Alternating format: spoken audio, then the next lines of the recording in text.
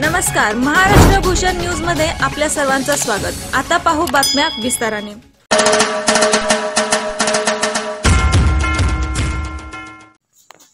पूरा भारत देश में कोरोना के संकट काल में पूरे दो महीने हो गए। मजदूर, दिव्यांग महिलाओं के हाथ हाथ को काम नहीं।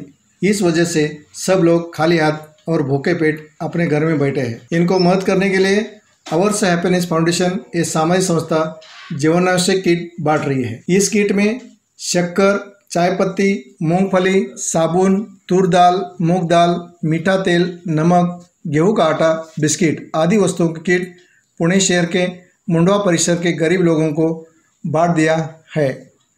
इस अवर्स हैप्पीनेस फाउंडेशन की संचालिका सोनम गुप्ता, संचालक मनीष गुप्ता, संदीप दादा भंडारी, प्रकाश बोलभट्ट देविका तय चौहान सौरभ भंडारी, इन लोगों की सहायता मिली। जो लोग गरीब लोगों को मदद करना चाहते हैं तो आपकी मदद ours happiness foundation dot com slash donate P H P इस वेबसाइट पर ऑनलाइन डोनेट कर सकते हैं। इसलिए eight five two seven one three double five eight zero और double nine five three two five six three two five इस phone पर contact भी कर सकते हैं। ऐसा आह्वान आवर्स हैप्पीनेस फाउंडेशन की संचालिका सोनम गुप्ता और संचालक मनीष गुप्ता ने किया है। धन्यवाद।